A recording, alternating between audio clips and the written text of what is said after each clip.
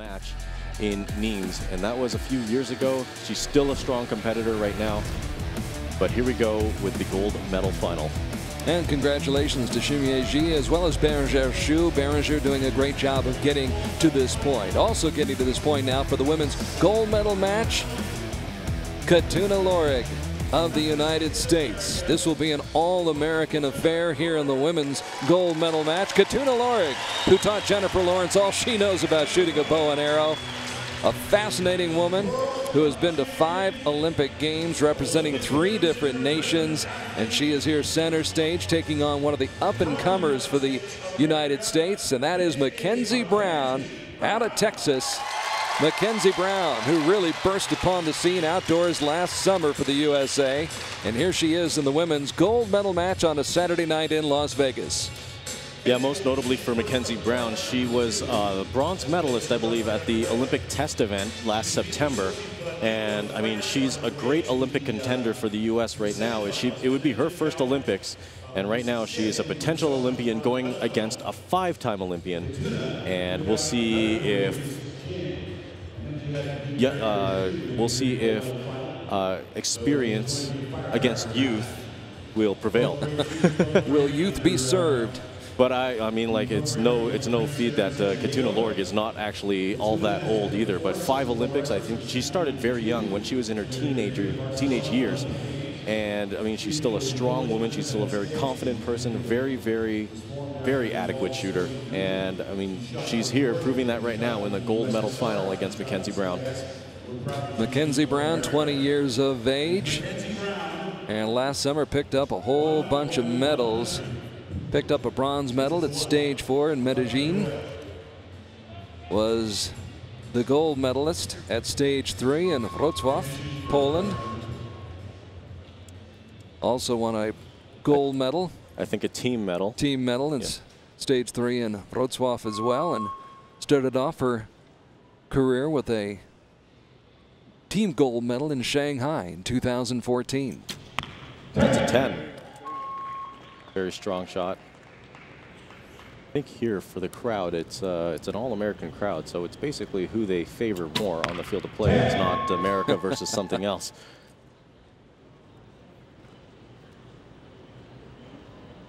So now the 20-year-old Mackenzie Brown with back-to-back -back tens to start this party.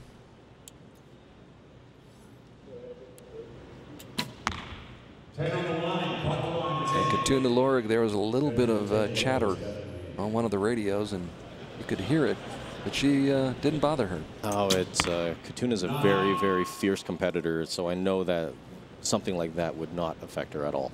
Right now, the door is open for Khatuna Lorig, who can take this opening set after that nine by Mackenzie Brown, but she matches the same score and they split the set.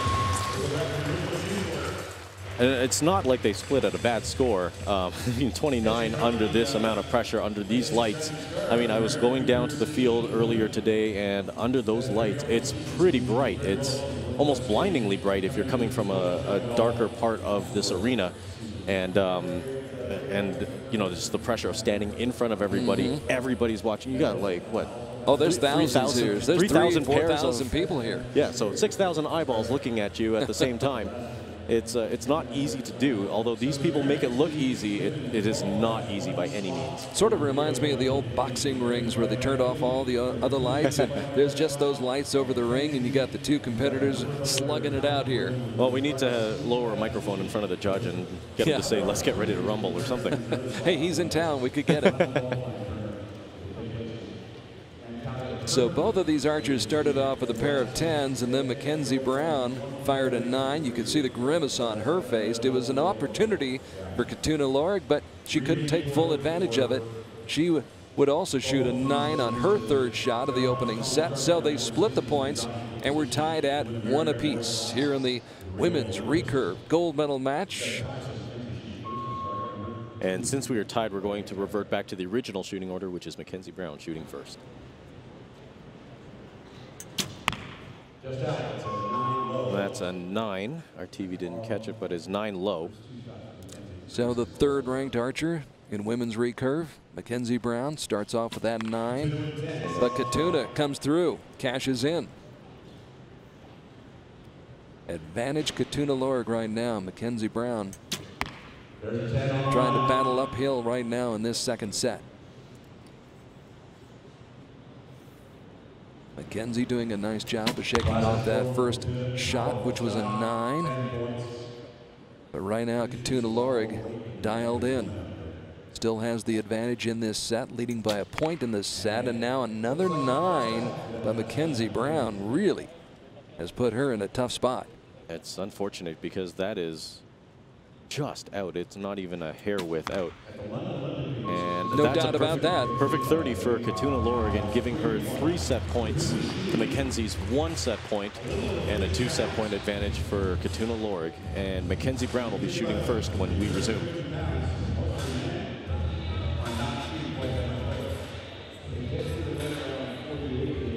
Taking a look at the path that Khatuna Lorig took to get to this gold medal match. She defeated Guendalina Sartori of Italy in the 1-8 round. Then Jin Yun of Korea in a shoot-off in the quarterfinals before defeating Berengere Schuh 6 to 5 in the semifinals. She won that shoot-off by the score of 9 to 8.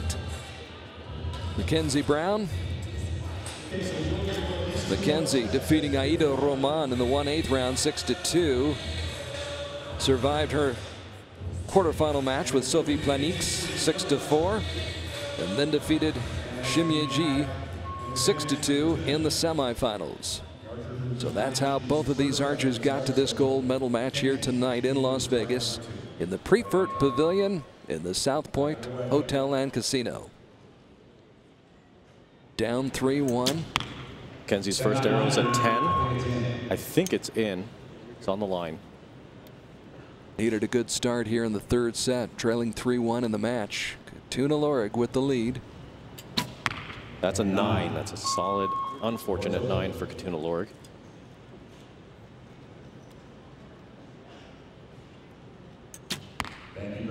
That's Mackenzie removes all doubt with that shot. No asterisk needed.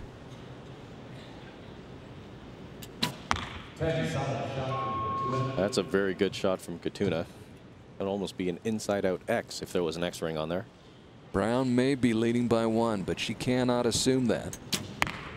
That's a nine. Ooh, veers off course. So this is an interesting scenario right now. Mel Nichols, her coach. That's right on the line. So right now it looks like Mackenzie's Brown, Mackenzie Brown's first arrow is a nine asterisk, but scoping it from where I am, it looks like it's touching that line. I, so that should be a 10. It should be a 10 from my angle, but again, the spotters will play it safe and call that lower than what it's supposed to be because it's so much better to get a get a point out of it instead of losing a point. But you well, can she's got her fingers crossed right now. She needs that to be a 10.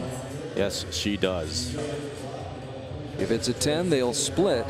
And go to 4 to 2. And we're seeing what they're putting down range right now. And it is 4 to 2. So they split that set. And Mackenzie Brown will be shooting first again. So now she can exhale after finding out that was a 10 instead of a 9. Mm. And she's only down by two. Otherwise, she was looking at a four point deficit 5 1. Instead, it is 4-2. She's still very much alive and in this match. And we'll go first here in the fourth set. The gold medal match, Khatuna Lorig, Mackenzie Brown, the two U.S. archers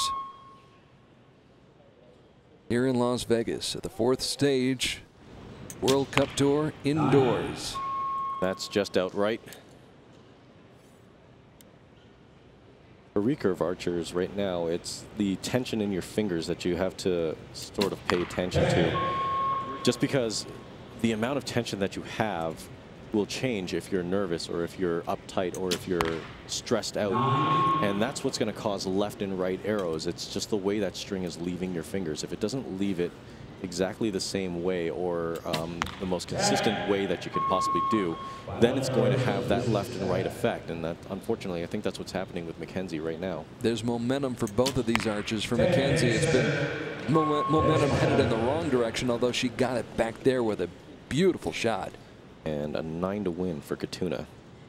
For the match, for the gold medal. Khatuna Lorig got it on the line. That's a 10, and she wins it by the final score of 6 to 2. Khatuna Lorig is your gold medalist in Las Vegas.